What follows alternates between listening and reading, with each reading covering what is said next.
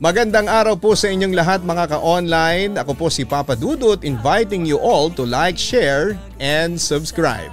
Sa ating episode ngayong araw ang sabi nila, hindi nasusukat ang pagiging isang magulang sa kung ano ang kaya nilang ibigay sa atin. Hindi rin mahalaga kung sa kanila o hindi ka pa nagmula sa kanila. Sapat na yung alam mo sa sarili mo na minahal ka nila bilang isang totoong anak kahit na hindi ka pa nila kadugo.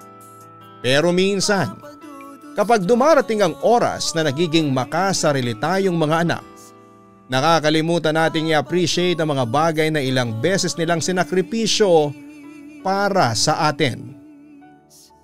Dear Papa Dudut, Magandang araw po sa inyo at sa mga masusugid ninyong taga-pakinig na kagaya ko. Just call me Mark, 26 years old at nagtatrabaho sa isang restaurant dito sa Rizal. Hindi po talaga ako mahilig makinig ng mga drama online. Pero nang dahil sa mga magulang ko ay na-discover ko po ang YouTube at Facebook channel ninyo. Sobrang favorite po talaga kayo ng parents ko papadudot. Kaya naman nag-decide ako na eto sumulat sa inyo at mag-share ng kwento namin ng pamilya ko. Lumaki po ako sa isang hindi normal na pamilya. Hindi normal para sa akin yon dahil dalawang lalaki ang kinilala kong mga magulang. Si Dadudes Ricky at si Dada Michael, pareho po silang bisexual. Ang kwento nila sa akin ay limang taon na raw silang nagli-live-in nang ampunin nila ako mula sa naging kasambahay nila. Ang nanay ko na kahit kailan ay hindi ko na nakilala.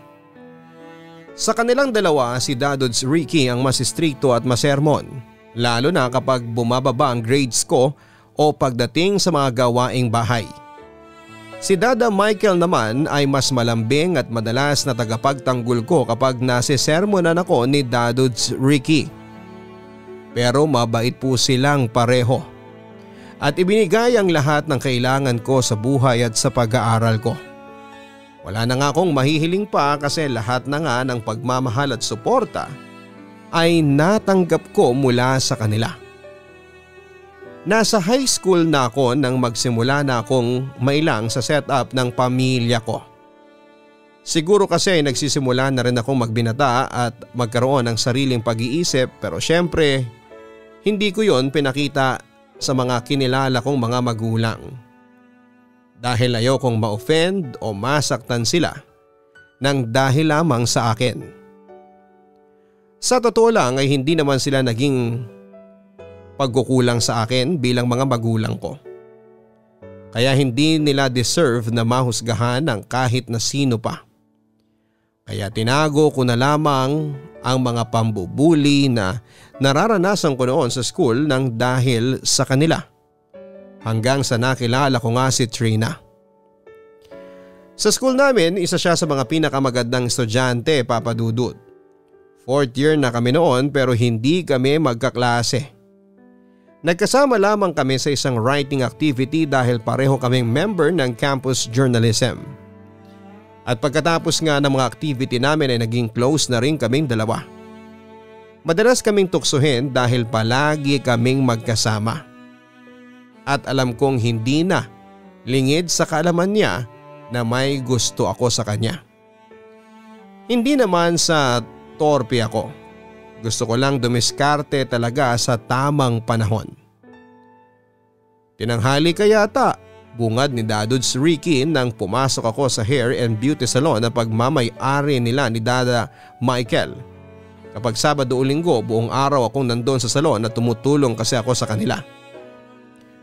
Maliit lang naman ang salon na pagmamay-ari ni Dadudes. May apat na upuan para sa mga customers na ginugupitan o inaayusan at may isang mahabang sofa para sa mga willing maghintay.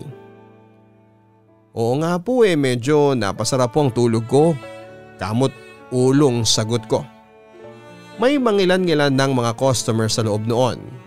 Meron din naghihintay sa may sofa at nagbabasa ng magazine. Inabot ko na ang walis at sinimulan ko na ang routine na walisin ng mga nakakalat na buhok sa may sahig. Magpapagupit po sana ako. Puno na po ba? Napahinto ako bigla sa ginawa ko dahil sa pamilyar na boses na narinig ko. Dahan-dahan kong tinaas ang mga tingin ko at hindi nga ako nagkamali papadudot. Si Trina nga at nakatayo siya sa may harapan ng receptionist ng salon namin. Hindi pa ganda pero pangatlo ka pa. Makakapaghintay ka ba? Sagot ng receptionist naming si Tita Shirley. Bakla din siya na babae kong manamit at mag-makeup. Palagi din siyang may suot na makapal at mahabang wig para mas magmukha siyang babae. Sige po maghihintay po ako, sagot naman ni Trina at umupo na rin sa may mahabang sofa. Hindi niya ako napansin kaya naglakad ako papasok sa may CR. Mark, saan ka pupunta? Hindi mo pa nawawalis ang tungsulok ko, ang sabi ni Dada Michael. Napapikit ako saglit at bumuntong hininga bago sumunod sa kanya. Yung sulok na nasa may tabi kasi ni Trina ang tinutukoy niya.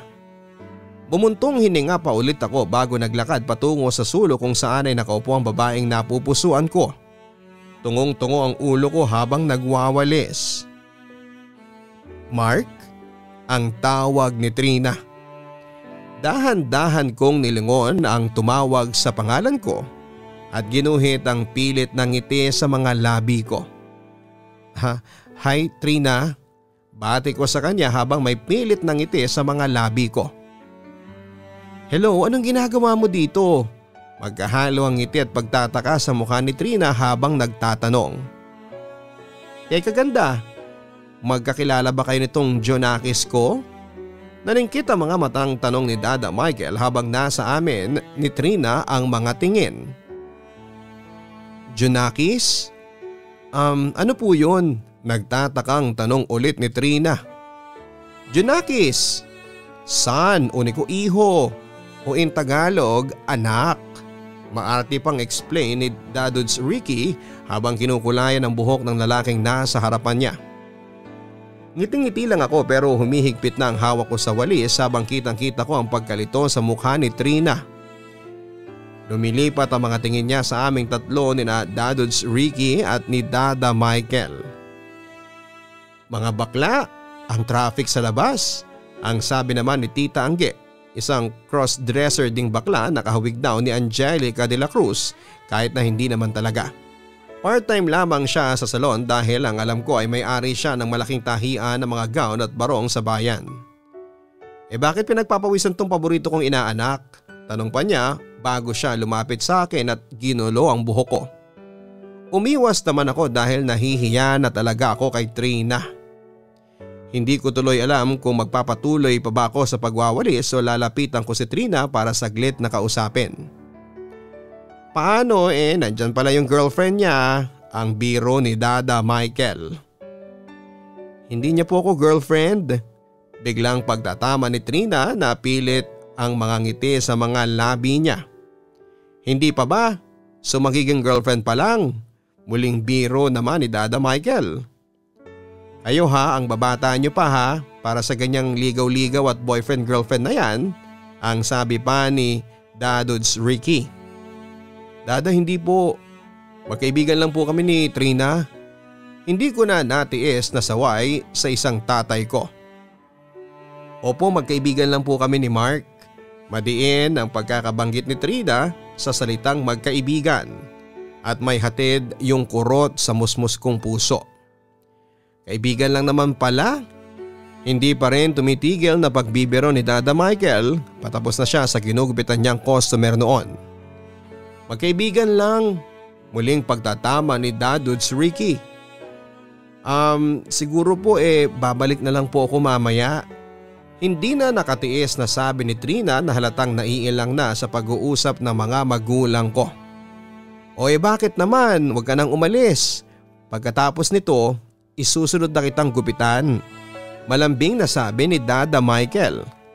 Bibigyan kita ng special na gupit at discount. Dagdag pa niya. Hindi po, ayos lang po. Babalik na lang po ako mamaya. May pupuntahan nga pala ako. Tumayo na si Trina at kita ko ang pagkadismaya sa mukha niya. Muling pilit nang umiti at kumaway sa akin bago lumabas ng salon. Naku bakla, Tinakot mo yata yung jawires nung Junakis mo. Pabirong sabi ni Tita Angge kay Dadods Ricky na inaayos ang sariling gamit na panggupit. Wala pa nga akong sinasabi na kahit na ano eh, saka hayaan mo na yun. Kay babaeng tao hindi marunong sumakay sa mga birong bakla. Sagot ni Dadods Ricky. Nako ang inaanak ko nagbibinata na talaga.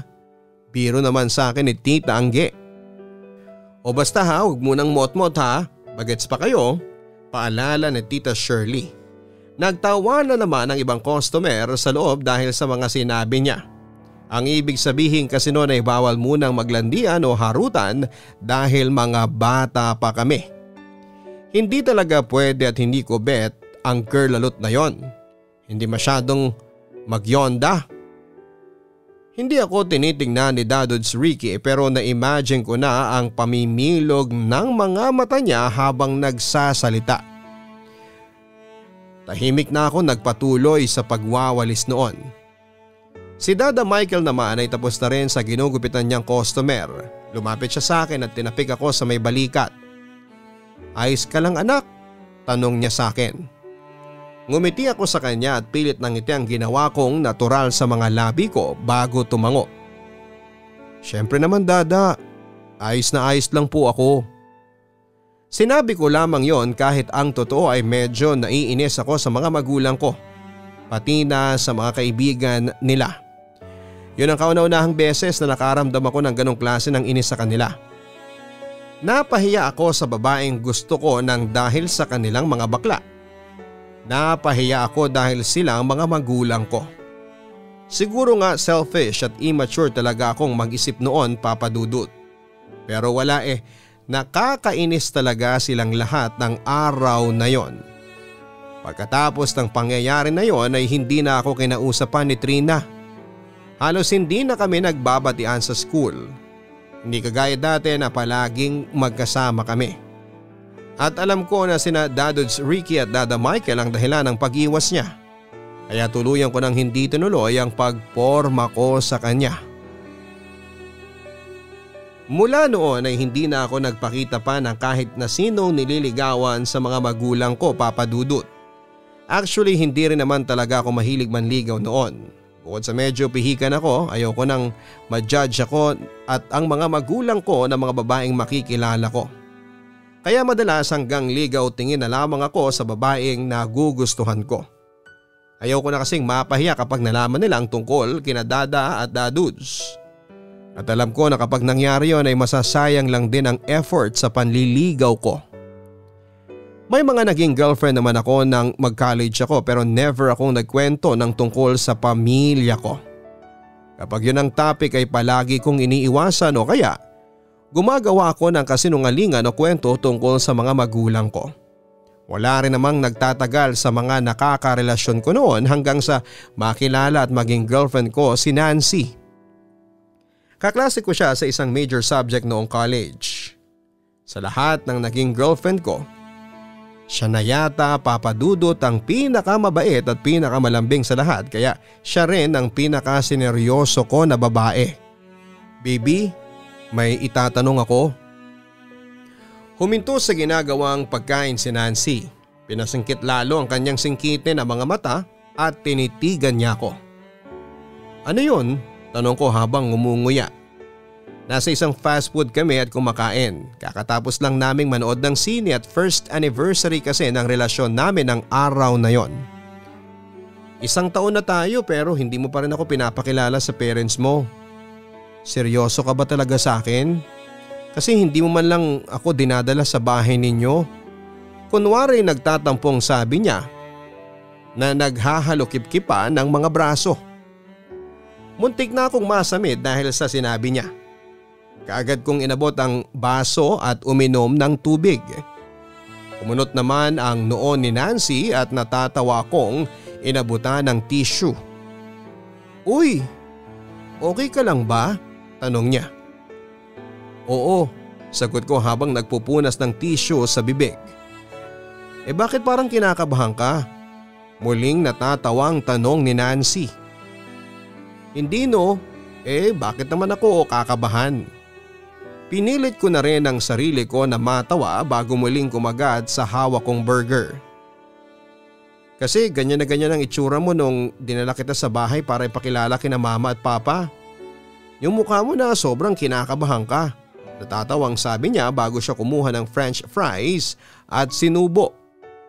Masungit ba yung mami mo o istrikto ba ang daddy mo?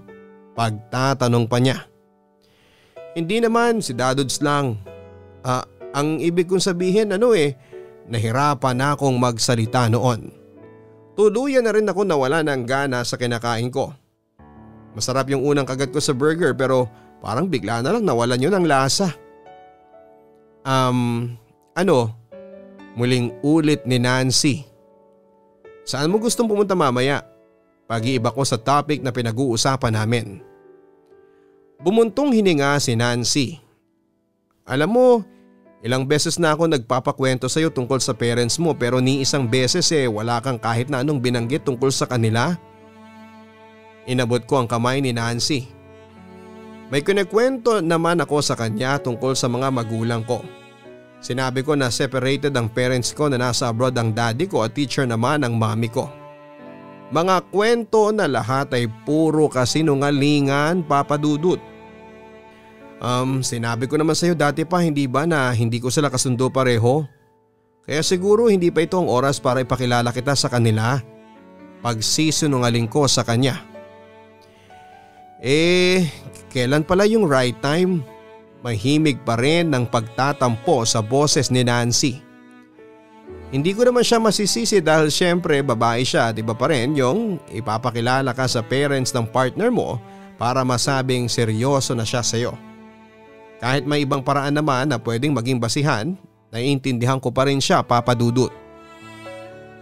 Kapag uh, kapag ano kapag uh, siguro okay na sa bahay, basta tsetsempohan ko lang ang sabi ko. Alam mo kasi minsan naiisip ko lang na baka nakakasalubong ko na sila tapos eh hindi ko man lang sila nababate. Iba pa rin kasi yung magkakilala sila ng parents ko hindi ba? Hay, sorry ang drama ko. Masyado na yata kitang pinipressure. Malungkot na sabi niya. Malambing ko namang pinisel ang kamay niya papadudot. Hindi ka madrama, may point ka naman dun eh. Basta siguro mga next month sa birthday ko. Dadalhin kita sa bahay para ipakilala ko sa kanila ang sabi ko. Gumuhit ang malaking ngiti sa mga labi niya. Nakita ko ang pagkislap sa mga mata niya. Naramdaman ko ang excitement na nararamdaman niya dahil sa sinabi ko. Promise? Tanong niya. Promise. Sagot ko bago ngumiti habang unti-unting nilalamon ng konsensya ang puso ko. Hindi ko naman talaga gustong magsinungalin sa kanya. Gusto kong iparamdam sa kanya kung gaano ko, kung gaano ko kasaya na ipakilala siya sa mga magulang ko. Kaya nga lang iniisip ko na magiging masaya pa kaya siya kapag nakilala na niya sina Dadudes Ricky at Dada Michael. Ilang beses pang nangulit si Nancy tungkol sa parents ko. Pero hindi lang siya ang ganon kung hindi pati na rin ang dalawang tatay ko. Matagal na nila akong tinatanong kung may karelasyon na ba ako. Pero ang palagi kong sinasagot ay wala pa dahil wala rin akong oras para sa mga bagay na yon. Nak, tikman mo tong laing na niluto ko kanina oh. Alam ko paborito mo to, lalo na dinamihan ko ang sili. Ang sabi ni Dada Michael habang nilalagyan ng laing ang plato ko. Kahit madalas na late na akong nakakauwi dahil sa pag-asikaso sa thesis namin ay hinihintay pa rin nila akong kumain ng hapunan. Iba pa rin kasi raw yung nakakasama naming ang isa't isa sa hapagkainan kahit na isang beses na lang halo sa isang araw. Salamat po dada, ang sabi ko. Sa dalawang magulang ko ay si Dada Michael ang madalas na nagluluto para sa aming tatlo at hindi pwedeng hindi niya lulutuin ang isa sa mga paborito kong ulam kagaya ng laing. Masarap ba? Tanong ni Dada Michael nang sumubo ako ng isang kutsara ng laing kasama ang kanin. Ngumiti ako bago tumango. Masarap naman talaga yon na walang halong biro at pambobola. Lahat ng luto ni Dada ay masarap. Sino yung kadit mo kanina? Kaya hindi ka sumama sa amin ng dada mo? Seryosong tanong ni Daduds Ricky habang patuloy sa pagkain niya. Naluno ko na kaagad ang laman ng bibig ko kahit na hindi ko pa yon natapos nguyain. Mm, po? Saad ko. Eto naman si Ricky masyadong seryoso. Mahinahon ang boses ni Dada Michael kagaya ng dati. Lumabas sa mga wrinkles sa gilid ng mga labi at mata niya dahil sa pagkakangiti niya. Nakita ka kasi namin kanina sa mall may kasama kang babae. Girlfriend mo ba yon? Nakangiti pa rin ang labi na tanong niya sa akin. Hindi kaagad ako nakasagot. Nang tumawag si Michael para yayain kang manood ng sine kanina at sinabi mo may asik kasuhin ka sa thesis mo kaya hindi ka makakasama, tumuloy pa rin kaming dalawa. Isinubo ni Dadods Ricky ang malit na piraso ng patatas. Saglit nang umuya bago seryosong tumingin sa akin at muling nagsalita. Nakita ka namin doon sa mall may kasama kang babae at magkahawak ang mga kamay ninyong dalawa. Nanatili akong nakatungo habang hindi ko alam kung ano ang mararamdaman ko. Nahihiya ba ako? Nagigilty? O natatakot? Okay lang naman sa amin ng daduds mo na magkaroon ka ng girlfriend. Walang problema yon kasi syempre lalaki ka. At alam namin na hindi mo naman pinapabayaan ang pag-aaral mo. Mahinahon pa rin ang boses ni Dada Michael. Never ko yata talaga siyang narinig na nagtaas ng boses. Palagi lang siyang balambing sa akin. Tapos na akong kumain, ikaw na muna Mark ang magligpit nitong gabi. Total eh mukhang nag-enjoy ka naman kanina kasama ang kadate mo. Seryosong sabi naman ni Dadods Ricky bago tumayo at umalis na sa hapagkainan. Sorry po, halos pabulong na sabi ko. Binitawan ko na rin ang kubyertos ko dahil nawala na rin ako ng ganang kumain. Naramdaman ko ang mainit na palad ni Dada Michael sa kamay ko at sinalubong ako ng mga tingin niya. Nandun pa rin sa maputlang labi niya ang mga ngiti niya. Pagpasensyahan mo na ang daduds mo ha. Alam mo namang napakamatampuhin nun. Aniya na malambing na pinisil ang kamay ko. Pero sana maintindihan mo rin kami ha, kaming dalawa. Palagi naman kaming nagbibilin di ba? Ang pinakaayaw namin sa lahat yung nagsisinungaling ka sa amin ng dadods mo. Bumuntong hininga si Dada Michael bago nagpaalam sa akin na tapos na rin siyang kumain. Nagpresenta siya na siya na magliligpit pero ang sabi ko ay ako na lang. Naiwan akong mag-isa sa hapagkainan. Inuubos ang laing na nasa plato ko kahit na hindi ko na halos malasahan ang anghang ng sili at tamis ng gata. Patuloy na naglalaro sa isipan ko ang iba't ibang tanong. Sagrado Kristiyano ang pamilya ni Nancy. Paano kapag nakilala nila ang mga magulang ko? Tatanggapin pa kaya nila ako? Pero paano kung nagkaroon na lang ako ng normal na pamilya? Isang nanay na tunay na babae at tatay na tunay na lalaki. Magkakaroon pa rin kaya ako ng ganong klase ng problema. Magiging masaya at magaan na kaya ang magiging buhay ko. Hindi na namin muli pang pinag-usapan sa bahay ang tungkol sa pagsisinungalin ko. Naging cold lang talaga sa akin si Dadods Ricky at nanatiling malambing si Dada Michael. Kasalanan ko naman talaga kung bakit may tampo sa akin si Dadudes kasi nagsunungaling ako sa kanila. Ganon pa man ay pinilit ko na lamang din na hindi maapektuhan papadudot. Hi baby, ang bate ko kay Nancy nang pagbuksan niya ako ng gate ng bahay nila.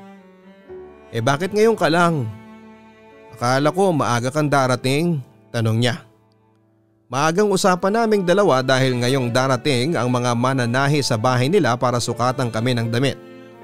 Golden anniversary kasi ng lolo at lola niya at muling magpapakasal ang mga ito sa simbahan. Isinama nila ako sa espesyal na okasyon na yon pati na rin sa mga gagawa ng barong. Sorry, na-traffic kasi ako. Nagsisimula na ba silang magsukat? Tanong ko. Medyo kabado rin ako dahil maraming kamag-anak si Nancy na nasa bahay nila ngayon Para tuloy mini reunion ng pamilya nila ang nangyayari.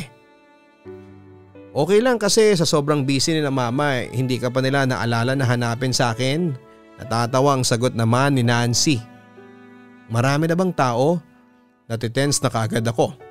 Malaki kasi ang pamilya ni Nancy at solong anak lang din siya pero maraming kapatid ang mama at papa niya kaya marami rin siyang pinsan. Medyo nandyan na rin pala yung mananahi. May iba rin siyang kasama para tumulong sa pagsusukat ang sabi ni Nancy habang naglalakad na kami sa malaking bakuran nila patungo sa loob ng bahay. Teka lang. Hinawakan ko ang kamay niya para magtama ang mga tingin naming dalawa. Ayos lang bang itsura ko? Muling tanong ko. Natatawang inayos ng kamay ni Nancy ang buhok ko bago hinaplos ang pisngi ko. Natitense ka na naman baby. Pero huwag kang mag-alala. Gwapong gwapo ka pa rin sa paningin ko. Halika na, ang yaya niya sa akin. Ngumiti ako nang maramdaman ko ang pagpisil niya sa kamay ko habang hawak niya ito. Tara, tugon ko.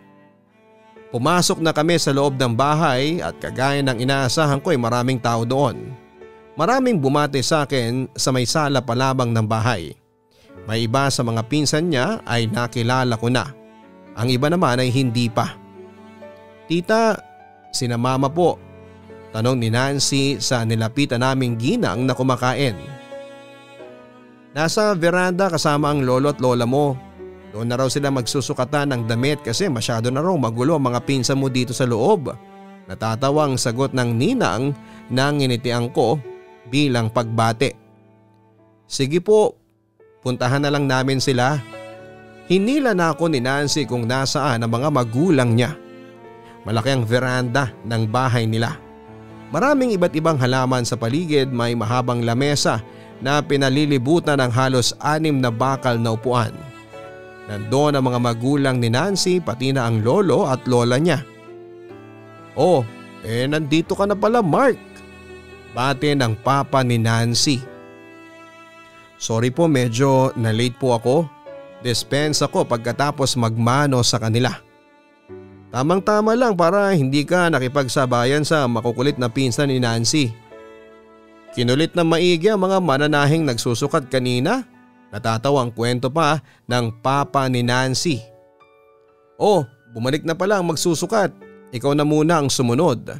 Turo niya sa papalapit na tatlong lalaking may hawak ng panulat papel, tela at medida.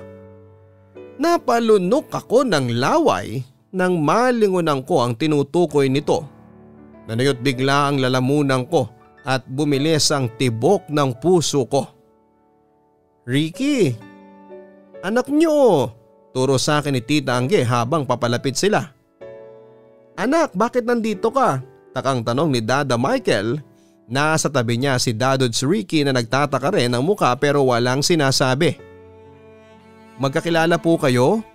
Nagtatakang tanong naman ni Nancy. Hindi kaagad ako nakasagot lalo na at lumalabas na rin ang ibang kamag-anak ni Nancy sa may veranda. Ramdam kong nasa akin ang mga tingin nila, nasa amin ng mga magulang ko.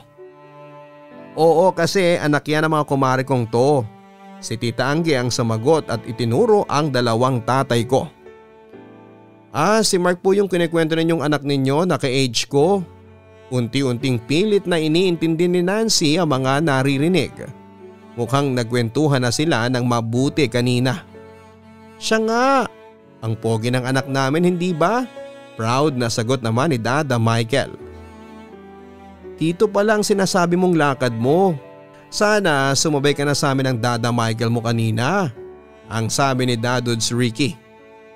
Teka, magkaklase ba kayo? Tanong ni Dada Michael. Hindi po, girlfriend po ako ni Mark. Nakangiting sagot naman ni Nancy. Oh my God! Ikaw pala yung mabiyondang jowaers ng Junakis ko. Kaya pala ang sabi ko kanina, you look familiar. Kagad nang lumapit si Dada Michael kay Nancy at beneso ito. Napakagandang bata nako, anak ang ganda talaga ng taste mo. Ang puri pa ni Dada Michael. Mga tito ba kayo ni Mark? Tanong ng mama ni Nancy. Naku hindi, Junakis namin ni Ricky yang si Mark. Sagot naman ni Dada Michael. Hindi ka agad ako makapagsalita at walang makapa na sasabihin. Si Nancy naman ay nakikita ko ang magkahalong excitement at pagtataka sa mukha niya. Daddy niya po kayong pareho?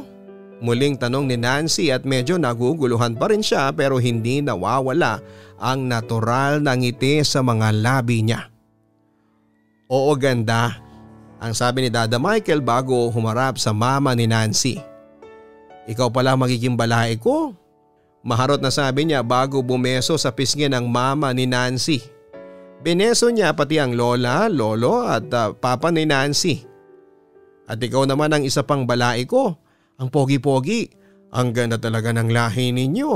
Kinikilig pang sabi ni Dada Michael. Dada, tama na po. Ano ba? Nakakahiya na kayo. Nakakahiya ng ginagawa ninyo. Malakas na saway ko. Tikom ang kamao at pinipigilan ko ang sarili ko na magwala. Napahinto sila sa pagsasalita. Bumaling ang mga tingin nila sa akin pero kita ko ang pagkagulat sa mata ng mga magulang ko may lungkot at sakit silang naramdaman. I'm sorry, excuse me po. Hindi ko na natagalan na mga tinginan nila sa akin. Umalis na ako sa harapan nila at mabilis na naglakad palabas ng bahay. Mark sandali! Sigaw naman ni Nancy. Ang paghawak niya sa kamay ko ang nagpahinto sa paglalakad ko. Nasa may labas kami ng gate nila, huminga ako ng malalim bago lumingon sa kanya. Ano?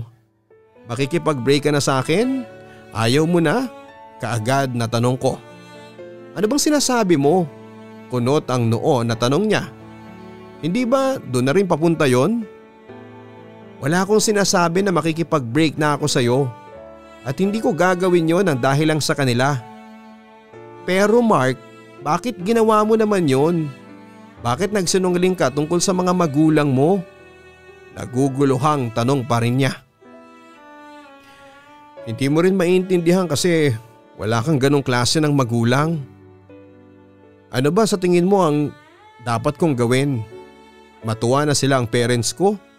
Na kahit mga bakla sila ipagsisigawan ko na sila ang nag-alaga sa akin? At dapat akong maging proud sa kanila? Nagpipigil na ako ng iyak noon. Alam ko namang mali ang ginawa kong pagsisinungaling noong una pa lamang pero anong magagawa ko? Ayokong mawala si Nancy sa akin. Ayokong ayawan ako ng mga magulang niya nang dahil lamang sa mga bakla kong tatay. Oo, halos pasigaw na sagot ni Nancy. Namuuna ang luha sa gilid ng kanyang mga mata na hindi ko inaasahan. Hindi biro para sa kanila ang magpalaki ng isang anak sa ganitong klaseng community. Pero nagawa nila. Napag-aral ka nila ng maayos. Binihisan, minahal. Hindi pa ba sapat yon para maging dahilan na ipagmalaki mo sila?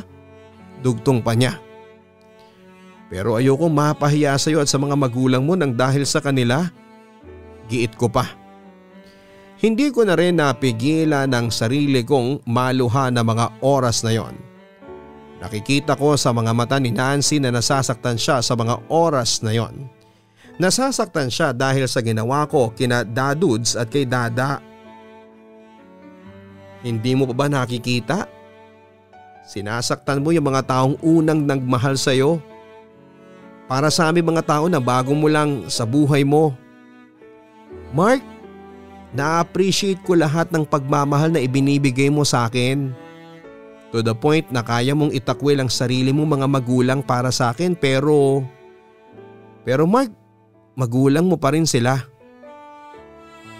Kung kadugo mo sila o hindi wala na akong pakialam. Basta ang alam ko lang anak kanila. Tinuring ka nilang isang tunay nilang anak. Minahal ka nila ng totoo. Kaya kung dumating yung panahon na itakwil din tayo ng magiging anak natin in the future dahil tinakwil mo ang mga magulang mo. Pinunasan ni Nancy ang pisngi niyang basa ng luha bago binitawan ng isang kamay niya ang kamay ko. Maswerte ka kumpara sa ibang tao dahil May mga magulang ka na kagaya nila. At huwag mong hintayin ang panahon na mawala sila bago mo pagsisihan na hindi mo na iparamdam sa kanila ang pagmamahal mo. Sabi niya bago tuluyan na ring binitawan ni Nancy ang kamay ko kasunod ang pagdalikod niya sa akin. Pakiramdam ko tuloy noon ay tuluyan na ring umalis siya sa buhay ko. Tama siya. Mali ako. At kahit kailan ay hindi ako naging tama. Hindi rin kaagad ako umuwi ng bahay ng oras na yon at hinintay ko munang lumalim ang gabi. Nagpalipas ako ng oras sa bar kaya nang makauwi ay medyo may tama na ako ng alak. Pero naabutan ko pa rin na nagkakape si Dadods Ricky sa sala, sinalubong naman ako ni Dada Michael nang makapasok ako ng bahay. Anak, bakit masyado ka nang ginabi? May pag-aalala sa boses ni Dada Michael na inalalayan ako. At para bang walang nangyari kanina sa bahay ni Nancy at parang hindi ko siya nabastos. Ihatid mo na sa kwarto ang anak mo para makapagpalit na siya ng damit Seryosong utos naman ni Dadods Ricky. Halika tulungan na kita. Inawakan ni Dada Michael ang kamay ko na kaagad kong binawi. Kaya ko po ang sarili ko. Matigas na sabi ko. Tingnan mo nga yung sarili mo, suray-suray ka na. Pagpupumilit ni Dada Michael. Kaya ko po ang sarili ko. Halos sigaw ko. Napaatras si Dada Michael dahil bahagya ko siyang naitulak. Huwag mong pagtaasan ng boses ang dada mo. Hindi na nakapagpigil si Dada Ricky at lumapit na siya sa akin. Ricky? Ayos lang. Lasing lang ang anak natin. Hayaan na lang natin siya. Kalmado ang boses ni Dada Michael at pinigilan si Dadods Ricky. Pilit na ang ngiti sa mga labi niya. Alam ko na mas nasasaktan ko na siya noon. Hindi niyo ako anak. Hindi ko alam kung epekto ba ng spirito ng alak ang biglang pag-iyak ko noon. Lalo na nang magtabi ang dalawang kinikilala kong tatay. Huwag niyo po akong pakialamanan dahil wala akong magulang na nabakla.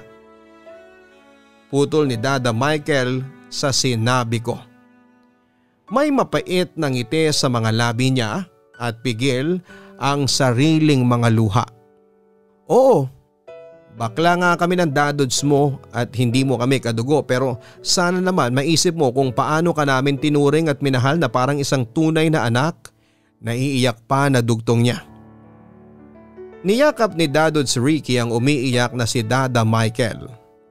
Kita ko sa mga mata niya na pati siya ay nagpipigil na rin na maiyak. Alam mo bang ilang linggo nang hinahanap ng dada mo ang tunay mo mga magulang? Nakita niya ang nanay at tatay mo na may sarili ng mga pamilya.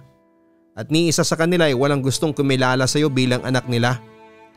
Pareho silang nakikiusap na kami na lang magpatuloy na tumayo bilang mga magulang mo. Hindi kami nanunumbat at kahit kailan ay hindi kami humingi ng kapalit sa iyo Mark. Kung gusto mo kaming ikahiya sa ibang tao, sige okay lang. Naiintindihan ka namin dahil hindi kami mga normal na tao sa paningin ng iba at sa paningin mo na rin.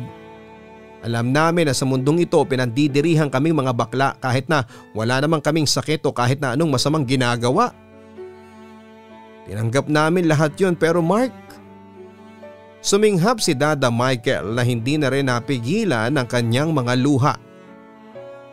Sana naman eh, bigyan mo kami ng konting respeto kahit hindi bilang mga magulang mo dahil sabi mo nga, hindi naman talaga tayo magkadugo pero ako nang nakikiusap. Erespeto mo naman kami kahit bilang mga tao. Umiiyak na sabi ni Dadod si Ricky. Iyon ang unang pagkakataon na nakita ko siyang naluluha na. Ricky tama na. Hayaan na lang natin si Mark. Lasing lang ang Nagbitaw ng buntong hininga si Dada Michael bago nagpatuloy sa sinasabi. Lasing lang si Mark halika na. Umiiyak na yumakap siya kay Dadods Ricky bago naglakad palayo sa akin. Napaluhod na ako at tahimik na umiyak. Ano bang ginagawa ko sa sarili ko? Bakit ako nagkakaganito? Bakit ko ginagawa ito sa mga magulang ko? Sila na kinilala ako bilang isang tunay na anak kahit na hindi nila ako kadugo. Ako na kinupkup nila, inalagaan, minahal kahit na wala naman silang responsibilidad sa akin at heto ako ngayon ikinahihiya sila at itinatakwel at sinasaktan. Tumayo ako at hinabol sila bago mahigpit na niyakap sa likuran. I'm sorry. I'm sorry po. Patawarin niyo po ako dada and dadudes.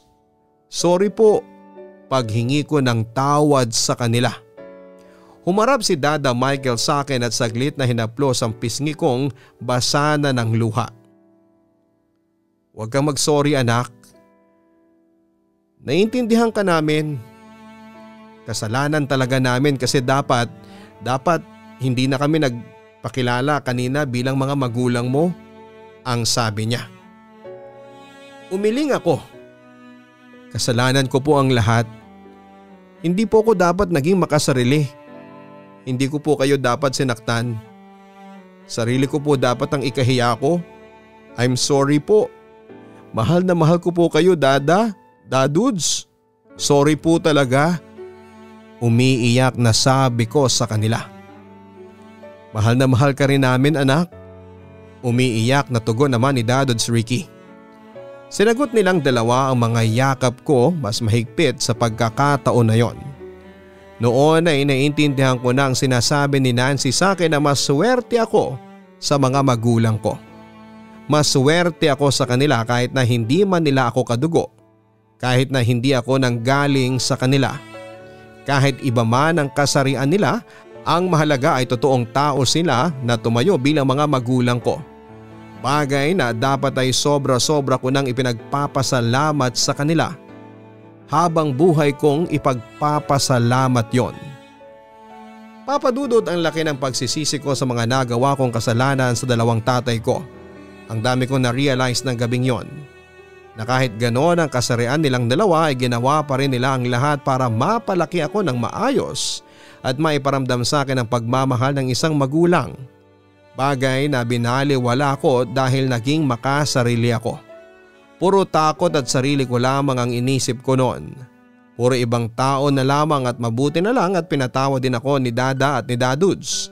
At sinabi ko na rin kina Nancy at sa pamilya niya ang katotohanan. Humingi ako ng tawad hindi lang kay Dada at kay Dadudes kung hindi pati na rin kina Nancy dahil sa pagsisinungalin ko. Maswerte ako sa mga taong nagmahal sa akin papadudot. Binigyan nila ako ng panibagong pagkakataon na magpakatotoo sa kanilang lahat. Napakagaan sa pakiramdam na hindi ko na kailangan pang magpanggap o magsinungalin. At ang pinakamahalagang nangyari sa buhay, na-realize ko kung paano dapat pahalagahan ang pagmamahal at pagsasakripisyo ng isang magulang para sa ating mga anak. Maraming salamat pong muli Papa sa pagpili at pagbabasa nitong sulat ko. Sana ay nakapag-iwan ng inspirasyon ng kwento namin ng dalawang tatay ko sa inyong mga listeners.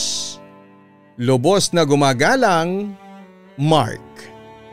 Minsan talaga ay nagiging makasarili tayo lalo na kapag pinangungunahan tayo ng takot. Ang nagiging resulta tuloy ay nakakapanakit tayo ng damdamin ng iba lalo na ng mga mahal natin sa buhay. Maraming salamat sa ating sender na si Mark sa pagpapadala mo ng iyong inspiring story. Alam mo sa totoo lang nung una eh gusto kong mainis sa'yo. Lalo na sa umpisang parte ng sulat mo. Para kasi ako yung nasasaktan para sa mga magulang mo. Mabuti na lang talaga at na-realize mo ang kamalian na nagawa mo at uh, nasubukan mo pang itama ang lahat. Lahat naman tayo ay nadadapa at nagkakamali. Pero bago pa mahuli ang lahat, matuto tayong tumayo at itama ang mga naging maling paniniwala at mga gawain natin. Masaya ako Mark na nagagawa mo ng totoong i-appreciate ang mga magulang mo hindi man sila yung nakasanay nating tatay at nanay o hindi man sila kadugo eh tinuring ka pa rin nila ng higit pa sa isang pamilya. At ang pagmamahal na yon ang kailangan mong palaging alagaan at pahalagahan. Ako po ang inyong si Papa Dudut nag-invite sa inyong lahat na mag-like, share, and subscribe. Maraming maraming salamat po. Ang buhay ay mahiwaga Laging may lungkot at saya Sa papadudod stories Laging may karamay ka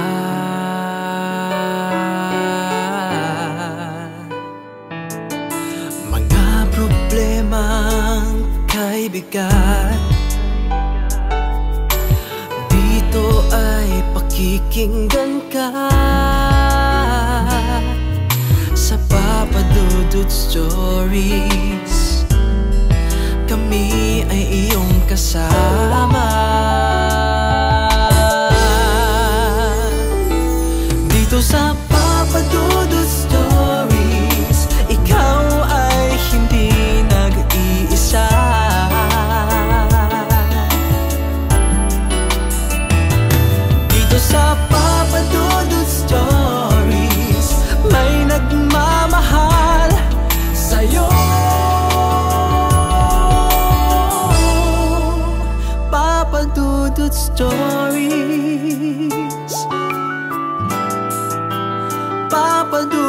Papadudod